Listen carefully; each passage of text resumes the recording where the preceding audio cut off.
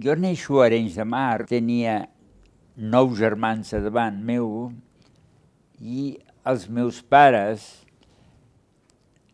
eren una família més aviat benestant d'Arenys de Mar i als nou anys ens traslladem tota la família a Barcelona i jo llavors començo el batxillerat, el primer curs de batxillerat. Pare, tot i que se'n va anar del poble d'Arenys, en aquella època podien fer, ser alcalde i viure a Barcelona. I ell, que no treballava mai, ni havia treballat mai, cada dia agafava el tren i s'anava al poble a fer d'alcalde. La meva mare tenia un patrimoni bo i eh, aconseguia el patrimoni aquell alimentar tota la família.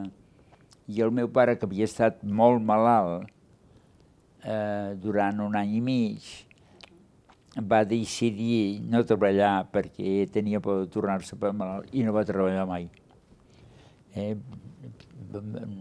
administrava el patrimoni de la meva mare, que era important.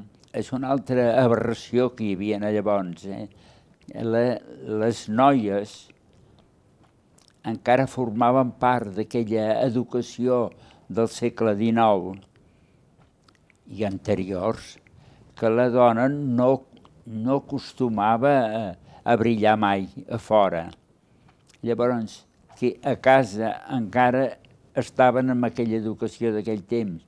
I els tres nois que érem, tots tres vam anar a la universitat. I les set noies, ni una va anar a la universitat.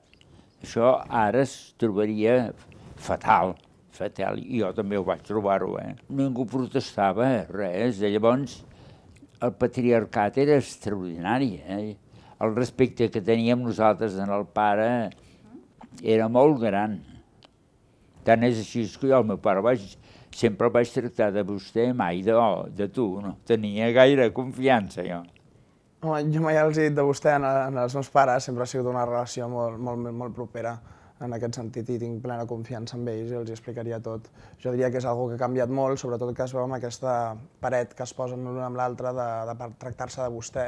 Aquest problema que estem patint avui dia a Catalunya des de fa uns quants anys, ja hi era, ja hi era, ja hi era. Cada dia, quan el pare arribava a casa, hi havia el problema de si havia que parlat català, que si castellà, que si... Aquests problemes ja existien a llavors, eh? I ara estan més aguditzats, sí, però eh, en essència són els mateixos. Eh? Amb els amics jugàvem molt sovint amb un joc que ha desaparegut del mapa, que era anglès, el croquer. Potser perquè érem tan germans, es havia de fer un menjar una miqueta quartelari. Eh? De manera que nosaltres teníem per costum menjar moltes llegums. No sé per què menjàvem tant, perquè menjàvem horrors. Eh? I es menjava horrors perquè la societat tenia por de contraure la malaltia tuberculosa. Eh, abans eh, així com la gent ara, tothom parla d'un càncer que ha tingut fulana de tal. Llavors tothom era tuberculós, mentre no se mostrés el contrari. Jo havia fet el segon curs de farmàcia, la guerra, sí. I eh, una petita anècdota que no té gaire, però el professor a mi sempre m'ha divertit. Era un temps que hi havia exàmens a la universitat. De manera que jo, i, i uns quants de... Vam tenir un examen el de matí del dia 18 de juliol. Eh? I en aquí a Barcelona es vivia, es vivia tranquil·lament perquè les notícies no arribaven com, com arriben ara. Eh? I el professor, quan vàrem acabar l'examen, una cosa normal, diu, demà veniu que ja tindrà les, les notes.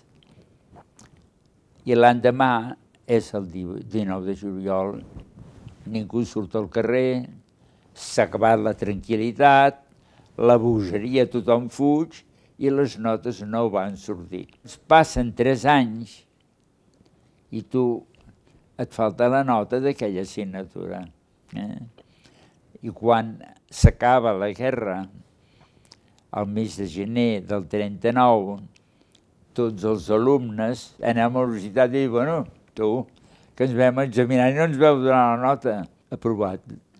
I la nota, i l'assignatura era mineralogia, me'n recordo molt bé. Però el dir que jo era estudiant de farmàcia em vam destinar a sanitat. No vaig tinguer de, de buscar influència per això, no. Prop de de Segre ja hi havia el front, i és l'única vegada que he estat a primera línia del, del front. La primera línia era la trinxera. La trinxera, sí, i vaig estar a la trinxera, eh? De manera que vaig veure el que era una guerra. Però aquella trinxera estava molt quieta. No hi havia operacions. No, jo no vaig a travessar l'Ebre, eh? però vaig viure la retirada de l'Ebre. I allà, sí, va venir una llau de ferits, perquè n'hi havia molts allà, i allà ens vam passar uns quants dies eh, pencant de debò, treballant nit i dia, perquè com que metges no n'hi havia quasi, els que fèiem de metge érem nosaltres, els sanitaris, no sabíem res, eh? Però ateníem a tota aquella gent. Jo em vaig comprar una farmàcia a la ronda de Sant Antoni, número 15, que encara existeix ara. I la vaig tenir 37 anys, eh?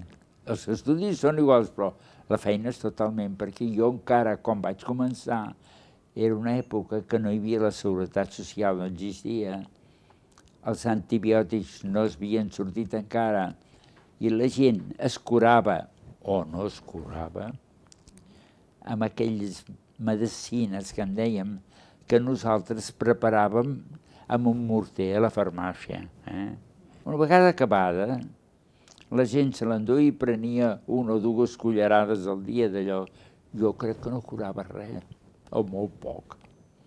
Dic en canvi, ara, el farmacèutic d'ara no prepara res de tot allò. La meva dona és farmacèutica. Mira, jo em vaig casar l'any 50 i la meva dona va morir l'any el 2011. De que vaig estar 50-60 un any. Se'm fa difícil creure amb la ideologia aquesta de, de l'amor verdader, que, que diguéssim això jo diria que ha canviat molt i que Pot ser que a lo millor estigui 60 anys amb la mateixa persona i estigui més content que mai, però tal i, i com ho veig ara i com, com hi vivim, és molt més difícil. En aquest sentit, hi ha molta més llibertat i, i abans se li donava molt prioritat a la família. Ara bueno, s'ha tornat molt, una mica més individualista en aquest sentit de que cadascú s'ha de desenvolupar com a persona i no tal com una entitat familiar. I abans el meu sogre, el van agafar i va estar a la presó molt de temps i nosaltres ens havíem de casar. Total que vam suspendre el casament i quan el van deixar en llibertat, llavors ens vam casar.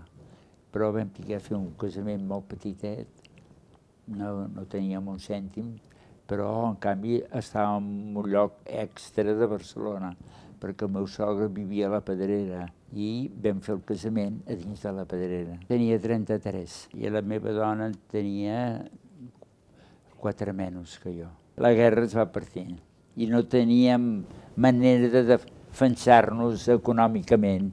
No podíem defensar-nos, no, no es guanyava prou.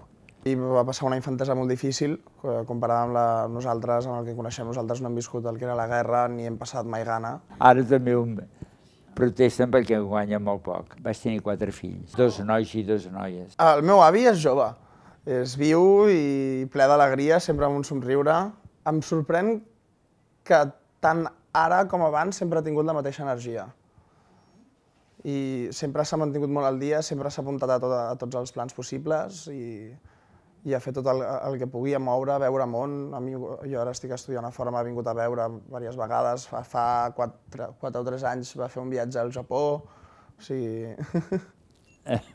bueno, jo, jo en broma els hi deia una vegada de que el més important és tenir bon humor. Però això, el bon humor tu no el, no el pots cultivar. No pots dir, a partir d'ara tindré bon humor. No, això és una cosa que si tens els ulls blaus, tu no hi fas res, tens bon humor igual. És pura sort això de viure tants anys. Arribar-hi potser, arribar-hi així de bé, no. arribar-hi com, com està ell, amb la vitalitat que té i amb l'alegria i, i amb el dia a dia que viu, és, és, és possible. No, no, no hi crec. M'encantaria, tant de bo. Tant de bo sigui així.